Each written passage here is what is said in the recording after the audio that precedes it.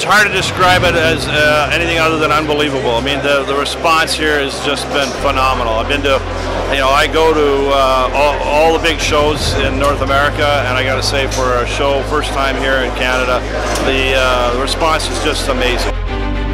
You got to get here next year. This is the place to be. You're in tactics, you're in competitive shooting, you like hunting, doesn't matter.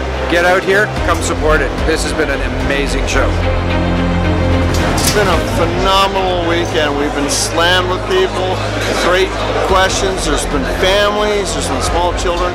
I couldn't have been happier to be invited to this show. Yeah, the turnout has been legendary. I, I was absolutely shocked that we had so many people turn up, and it was just done so smoothly. It's just fantastic to be here, and uh, I'm delighted to see everybody get together. The show has been great. Customers been great. We've seen a lot of people coming in, watching the products, and everybody's happy being here.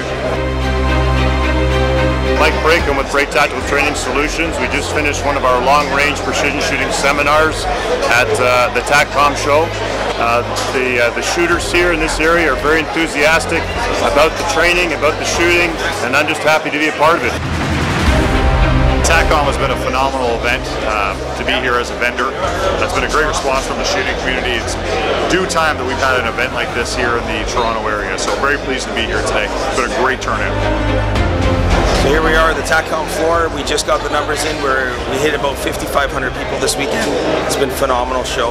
Um, we want to thank everybody for coming and uh, supporting the community, and I uh, hope everybody got to see everything that they uh, they'd like to see at the show. We tried to have a variety of uh, products here available for uh, the Canadian market.